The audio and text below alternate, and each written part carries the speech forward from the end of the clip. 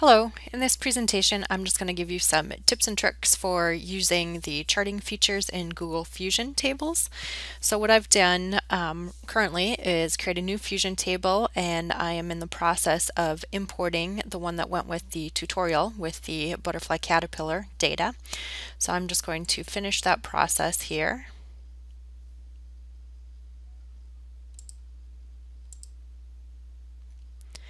And once it loads in the page, um, I just want to review with you the types of data that you can see in the various columns um, because that will have an impact on the kinds of charts and graphs that you can create. So um, there's kind of, in general, um, several different categories of data. So data could be text-based, data could be um, a graphic or an image of some kind. It could also be numeric, um, and then it could be date-time information. Numeric information can have all kinds of different types. It could be a currency value, so something that relates to money. It could be um, a percentage value. It could just be a straight up number. So you want you want to kind of pay attention to those different kinds of data. And then the um, other kind that we've been um, included in here is geolocation information. So latitude and longitude refer to geolocation um, data. So each of these different uh, columns you can see represent a different piece of data about the um, um, this particular species of butterfly that was observed. Each row then is one set of that data or one um, grouping of it. And if we just take a, a, look at a couple of these, so for example the sex column, if I click on the drop down next to that you can see that there are some options here so I can do things like sort A to Z. If I do that, you'll notice that a number of the rows are blank. Then we have a group that are female, and then finally if I scroll further down, we have a group that are male. So that's a very structured type of textual data um, that I can use for some of my categories in charts and graphs. Um, same thing would apply to, for example, the primary ecosystem. If I sort uh, based on the primary ecosystem, there's a couple that are blank, but then we have cloud forest as one of the options, dry forest as another, and then rainforest as the uh, last kind of option. So those are, again, very structured information. Things like the year column and the date column here, that's date time information. Elevation and wingspan are numeric information. And then, like I said earlier, latitude and longitude are geocoded information. So that all plays um, into or has an impact on what kind of charts and graphs you create. If I click this red plus up on the top by the tabs, I'm just going to add a chart here. And, you know, Google just tries to take a guess at what you might want. Um, I'm going to go to one of these um, bar charts and give you um, walk you through creating um, some examples. So first of all, um, one thing to be aware of is that the data that you're going to see right away um, is going to be um, one bar here for each row that is in the um, data set.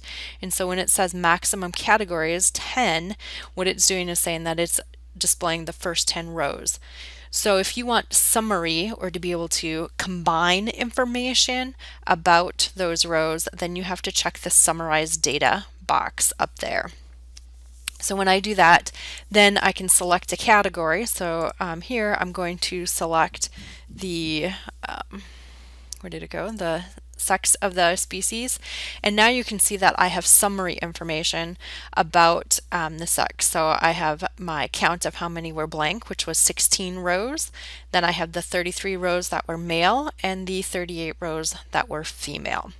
One thing I'll point out is that remember how male, female, and then this blank, those were all, um, the sex column all had text information. So count, and um, Google should hopefully, the Fusion Tables tool should hopefully display this for you. Count is really the only kind of summary um, function that you can apply to textual data. If you want to know things like what's the average wingspan by sex, so does a female butterfly have a larger wingspan than a male butterfly, or is it vice versa, then you can apply those kinds of functions, average, sum, min, and max, to um, columns like elevation and wingspan because they're numeric data. So I'll just click on the um, average wingspan here.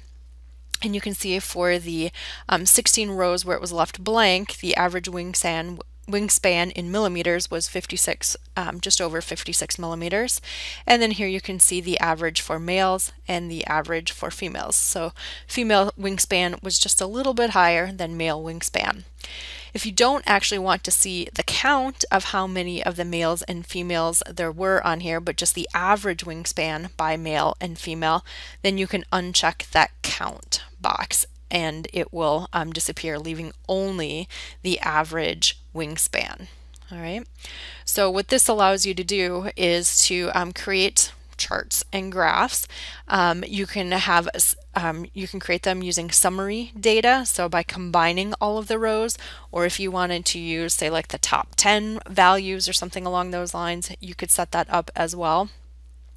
Um, let's see, you want to make sure you select the appropriate category here and then apply the appropriate function to the type of data that's there.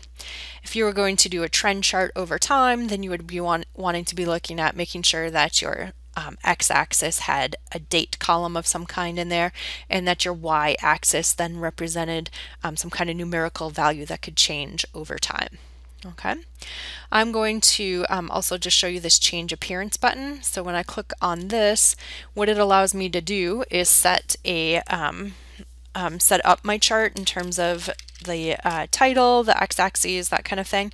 So here I will call this average wingspan by sex, and that is my chart title that you can see shows up.